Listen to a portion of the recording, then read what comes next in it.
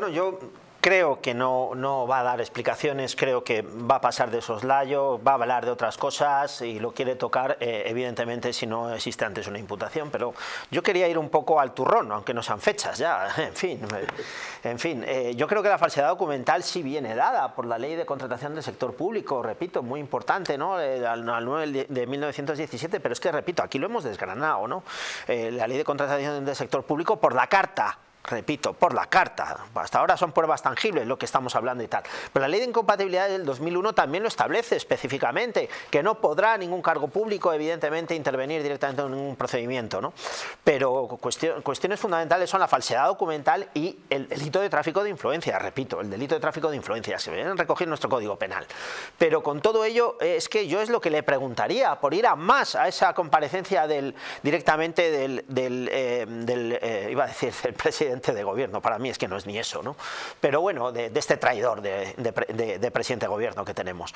Pero, pero es que yo preguntaría directamente sobre la carta, sobre cuáles son las cuestiones de, Begoña Gómez directamente con Marruecos y todas las cuestiones que estamos hablando, repito, pero sobre todo, eh, ¿por qué se está vulnerando la ley y por qué en este caso la están parando directamente él y su gobierno?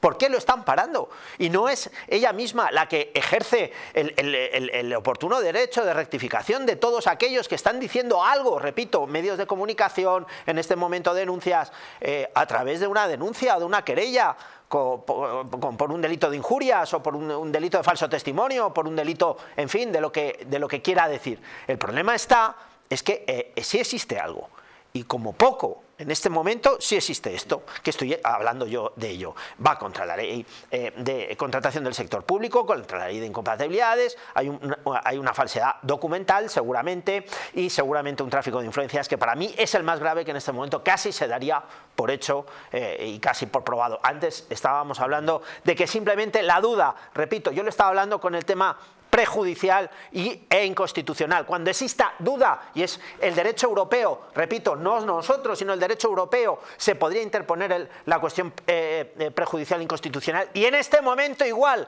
repito, la falsedad documental es de libro, repito, es de libro la falsedad documental. Y yo eh, me atrevería a hablar de un delito de tráfico de influencias.